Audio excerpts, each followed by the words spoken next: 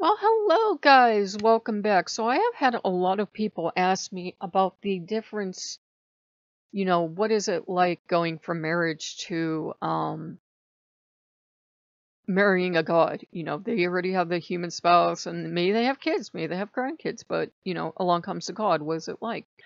I can't speak to that. What I can speak to what is what it's like to be married with the gods to be alone for a decade, to figure that's going to be your life for the rest of your life and be perfectly content and happy in it, and then to meet someone. It happens. And if you've ever done that, if you've ever gone from just being with gods to meeting someone, oh my lord, doesn't it feel like your life just ended? Easy, human partners, let me explain. Usually those of us that are with the gods for years have probably promise them that we are going to be with them and only them for the rest of our life. We're going to dedicate our lives to them. And the gods are like, okay. And then years pass and years pass, and then you meet somebody and you're like, mm, mm, mm, but I made vows. And you go to your gods and you're like, okay, I know I made vows, so I'm going to get this person out of my life. And the gods are like, but wait, maybe we picked them for you. Maybe you've been alone long enough. And you're like, what? But I promised you a lifetime. We know. And, you know, I've been going crazy, asking the gods for signs, making sure this just isn't me being a weak and fallible human. And I'm not just wanting to have my cake and eat it too. I'm like, this just seems too good. It seems like a trap. I'd promised my gods lifetime of service, lifetime of dedication, being with only them. And now here comes this human I care about. And I'm like, shit this is not what I planned. And, you know, humans, having faith in humans the way you have faith in gods, oh gosh, isn't that harder? I don't understand humans the way I understand gods. I really don't understand gods at all, but I understand them enough. Humans, humans are hard, yo. Um, humans have emotions that run more immediate than a god's emotions at times. At times, I I'm married to Loki. Believe me, I know about the immediate emotions with him. They have a backstory you don't know. You know, you don't you don't get a book of their mythology with a human. Um, you have their version of a story and you don't have anyone else's, right? Um, there aren't multiple versions of that story, hopefully. And, you know, it starts to be like, wow, this is harder to have faith in humans because there's no mythology here. You don't know anything about them. You're learning stuff about them. And humans can do all the humany stuff, right? Like we're tired, we need to go need have naps, we need to poop, we need to pee, we need to eat, we need to get our chores done. Aren't we a track sometimes? Like, you know, you're going from gods who I have never had a god go, I just stepped out of the shower, I was vacuuming, what do you want? I've never had a god do that. They seem to live in a purple, uh, you know, eternal place of happiness where there are no chores, which is where I hope to go someday. you laughter and cheers back there.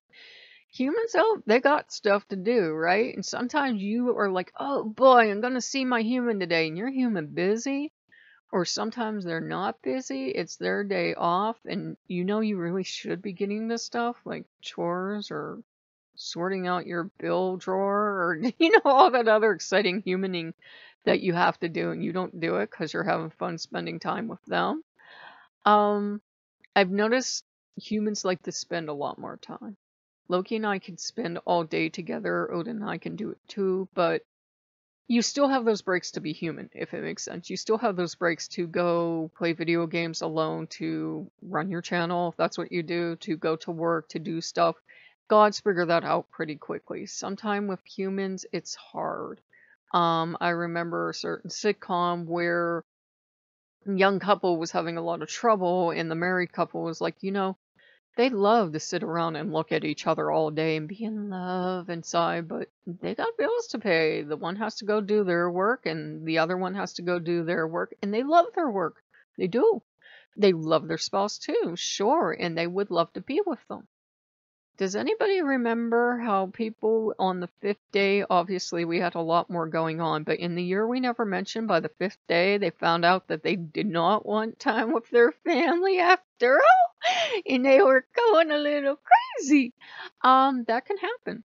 it happens with two mortal partners when one retires or one loses their job. Um, you know, obviously money and stress and that that is a factor, obviously. But let's say money's not an issue. All of a sudden you're spending a lot of time with this person, right? And you'd gotten kind of used to being on your own. And that's kind of where I am now. I'm used to being on my own with the gods. I have a lot of guilt because here comes this human and you know i'm letting go of sometimes i'm not lighting my candles and doing my incense because i'm writing to them and then i'm like ju- jumping into the channel real quick and then i'm doing something else and you know i feel a little bit bad about that i feel a little bit bad about the fact that the human is taking up you know, taking up time, which I love you, honey, I do. But, you know, they are taking up time that formerly belonged to the gods. And it is, you know, it is guilt fillings, especially if you promise the gods forever. And the gods are like, we're okay. And I'm like, okay, send me like 80 signs that this is the person.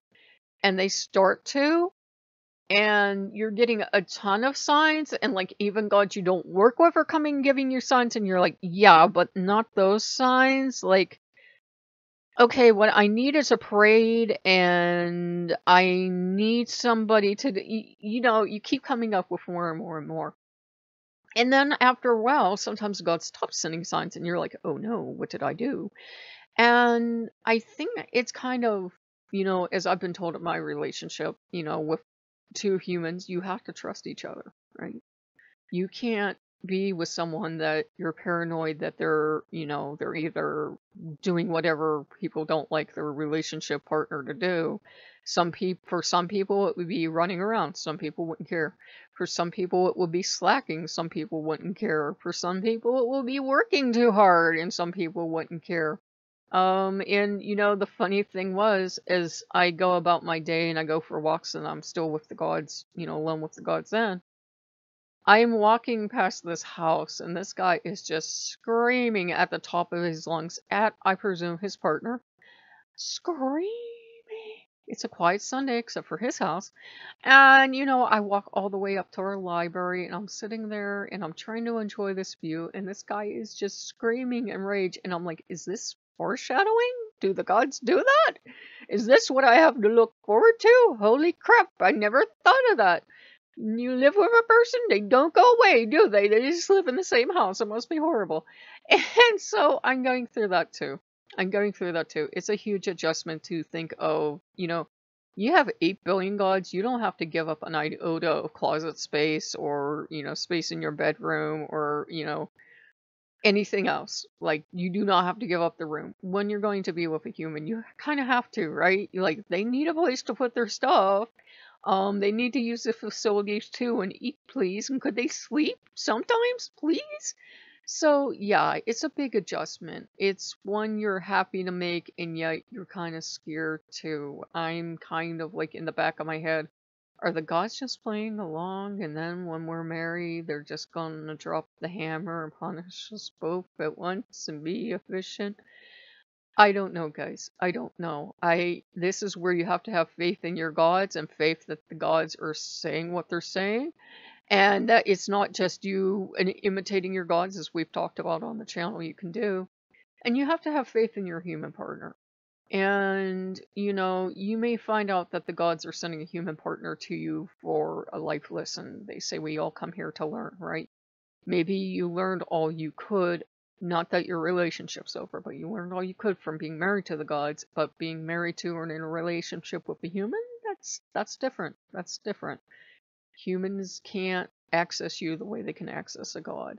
Um, you're not there on demand, you know. It there's like uh saying give your promise to God, he's up all night anyways. Yeah, humans don't do that. So we can be a bit of a downer sometimes compared to a deity, especially if as is in my case, that person is going through courtship with a deity at the same time they're courting you. Uh, I, I don't compare. I know that. I need to sleep. I need my naps. I have doctor's appointments. I have all this other stuff. I have recording to do. You don't seem to do a damn thing, does he? And I got laughter, hysterical laughter and cheers, Becker. But yeah, guys, it is an adjustment. It's one I'm happy to make. but whew, is it an adjustment. So if you guys like what you see, like, comment, subscribe, and I will see you guys later. Bye bye.